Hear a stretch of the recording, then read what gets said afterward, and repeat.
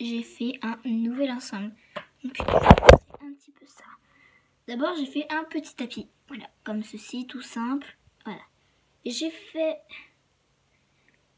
euh, l'amortisseur qui va avec et le petit bonnet. Donc en fait, vu que la vitrine, la mienne, elle est molle.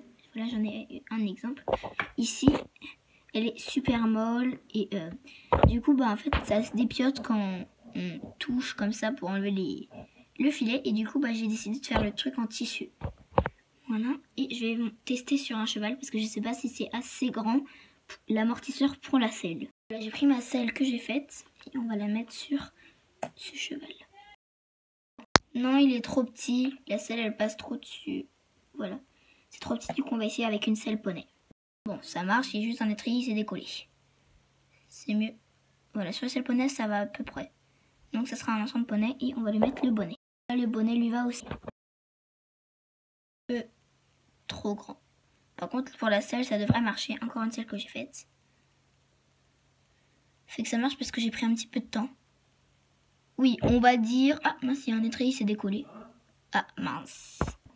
C'est trop petit.